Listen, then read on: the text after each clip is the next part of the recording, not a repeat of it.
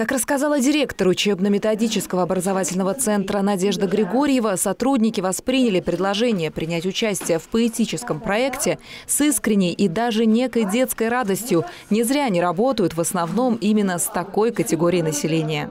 Постарались выбрать тех, которые, наверное, на наш взгляд э, и увлекаются стихами и непосредственно в силу э, вот своего функционала как-то сталкиваются с различными конкурсами, как педагогов, так и детей. У нас очень много и литературных, и мы э, взаимодействуем с нашей библиотекой, с нашим историко-культурным центром. Для проекта «Стихи живут повсюду» было выбрано произведение русского поэта, военного корреспондента, участника Великой Отечественной войны Александра Прокофьева «Слава армии нашей». Слава армии нашей на знаменах побед. Нету воинства краше, и сильнее его нет. В нем отрадно и властно встали мы и стоим.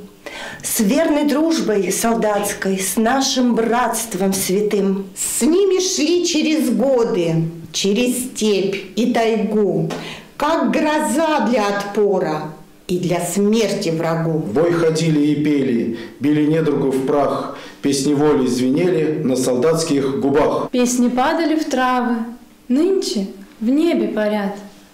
Над солдатскую славой, над матросской славой, над российской державой, словно звезды горят. Я очень рада, что именно это стихотворение прочли члены дружного коллектива Надежды Викторовны Григорьевой. Более ста лет Российский февраль – это дань уважения доблести нашей армии, всегда и сегодня хранящей в целостности рубежи нашей страны. Методист Надежда Тишкина очень любит поэзию и даже в школе сама сочиняла стихи.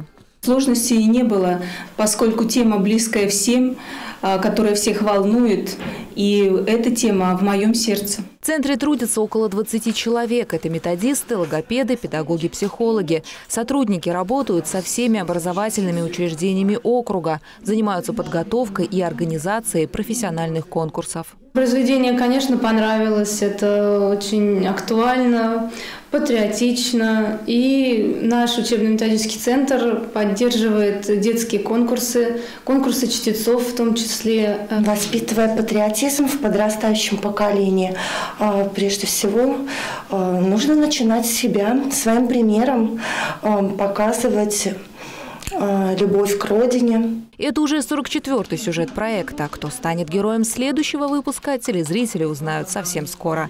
Наталья Буслаева, Александр Логинов, Елена Кошелева, Видное ТВ.